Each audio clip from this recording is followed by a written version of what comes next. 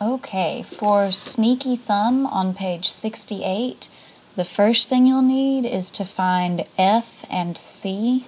F is right here, next to the three black keys, and C is right here, next to the two black keys.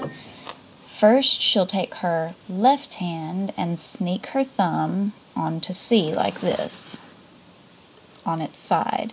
Then she can open up the rest of her hand and lay her fingers down on the keys next to C, like this, and they should be kind of rounded, kind of curved.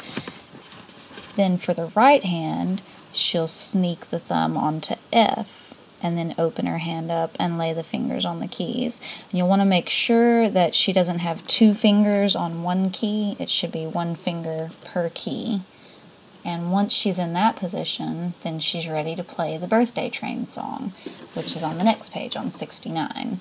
And Birthday Train starts out with the right hand. We know it's right hand because it has treble clef and because the notes are above the words. And it's going to go F, F, G, A, A, G, F, F, C, C, F, 2, 3, 4.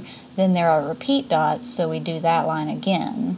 F, F, G, A, A, G, F, F, C, C, F, 2, 3, 4. Then at the end, there are two notes for the right hand to play at the same time.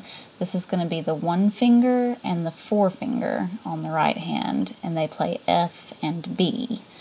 And it'll go one, two, one, two, one, two, three, four.